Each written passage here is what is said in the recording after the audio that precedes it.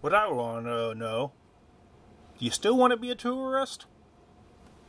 Are you going to be thinking differently about that vacation?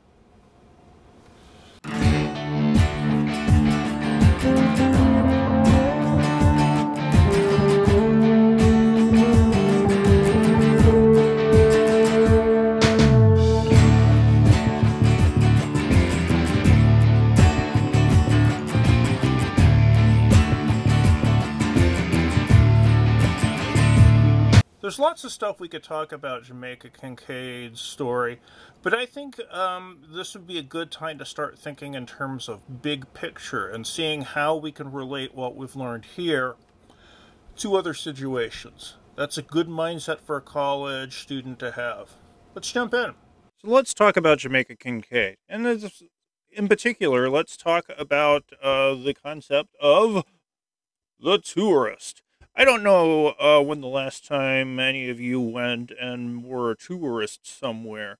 Uh, I know that I have lots of experience with them. Growing up, we lived in Charleston, South Carolina for a number of years, which is a very hefty tourist uh, place.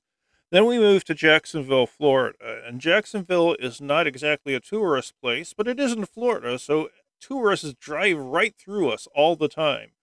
Uh, it used to be a bad nightmare to see a Winnebago from Ontario in front of you, and they did a lot to crowd up the place.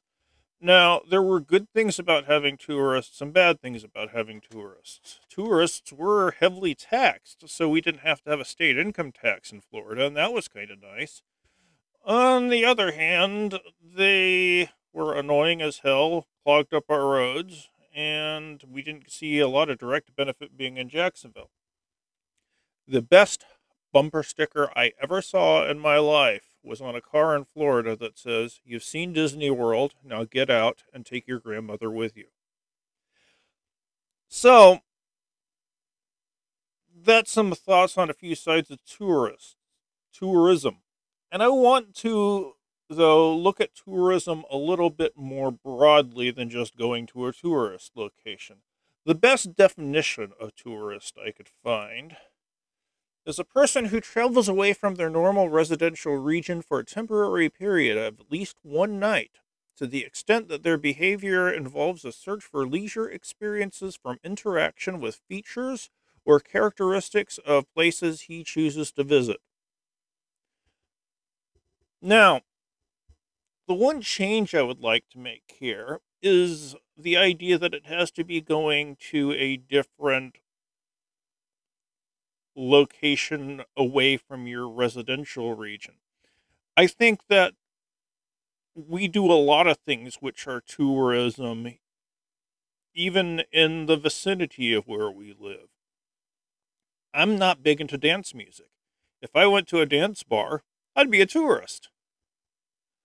If I, as a straight man, went to a gay bar, I'd be a tourist there. If I went to a hip hop show, I don't do hip hop, I'd be a tourist.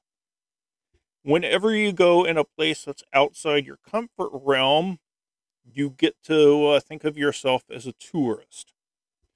And with tourist come any number of expectations. Uh, you're experiencing someone else's culture, society, group, identity, whatever, for your own entertainment. And I think that there's some loaded stuff going on there. We certainly have very specific images of tourism. Something that I didn't know before is that there are a lot of schools in Florida which, uh, for seniors in their senior year in high school, will have days where you can dress up like various things. And one of the days they have is, honest to God, Tourism Day. This kind of shows the stereotype of tourists. You notice that they're all very, very white? Hmm. And they're all dressed in stuff that they would never wear in their normal lives. This is something about tourism. You dress up in a costume and go out. You treat the whole thing like an experience which is aimed towards you without really seeing the place that you're going to see. And when you look at it like that, you can understand why people who live in tourist areas might not like tourists. Some tourists are not all that well behaved. Now, I know that this particular image is photoshopped, but I've seen a lot of images that weren't photoshopped of people doing this exact thing. Holocaust camp selfies. Yes, that's the gate of Auschwitz. It really happens. My favorite example, and you might hear me talk about this guy later on in the semester.